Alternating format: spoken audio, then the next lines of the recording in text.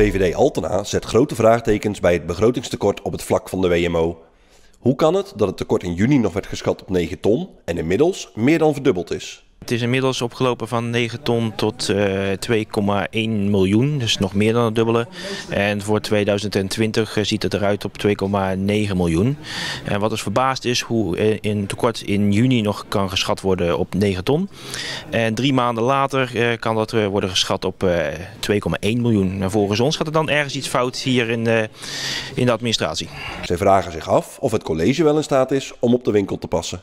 Nou ja, als je je eigen als college laat verrassen binnen drie maanden tijd een, uh, een tekort te laten verdubbelen, dan gaat er ergens iets niet goed in de bonnetjesfabriek hier, uh, hier in het gemeentehuis. Wat we eerst willen weten is waar bestaat dat tekort nu precies uit? Want dat was ten tijde van die brief ook nog niet duidelijk.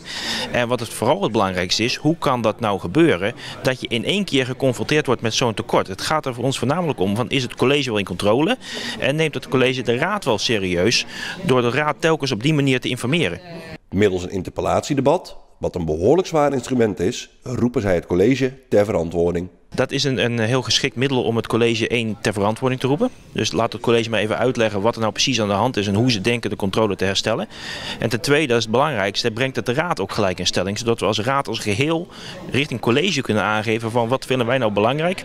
En hoe moet het college de raad nou meenemen in deze manier. Ook wordt er nog te veel gestuurd op hoofdlijnen. Wat je ziet in de brief uh, van, uh, van juni en de, de, brief die nou overheen is gekomen en ook uh, de gepresenteerde ja, tussenrapportage en de begroting, is dat er nog heel veel wordt gestuurd op hoofdlijnen. Dus in hoofdlijnen is het tekort bekend, in hoofdlijnen is bekend waar komt dat tekort vandaan. Maar hoe dat tekort nou precies 100% veroorzaakt wordt en hoe het nou komt dat we ons telkens laten verrassen, dat is nog niet bekend. En wat ook nog niet bekend is, is hoe we dat tekort nou precies gaan oplossen.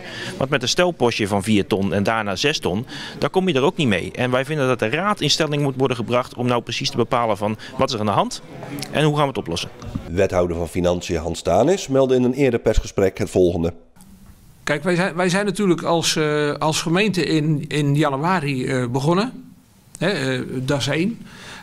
Wij, wij, hebben toen een stap moeten zetten om de bestaande organisaties te integreren. En dat, dat, dat geldt ook voor, de, voor de boekhouding.